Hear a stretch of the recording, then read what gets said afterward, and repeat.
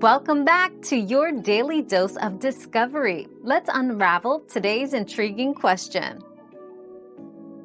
To keep pie crust from shrinking, chill the dough for at least 30 minutes before baking. Use a light touch when rolling out the dough to avoid overworking it. Place pie weights on the crust or dock it with a fork to prevent puffing.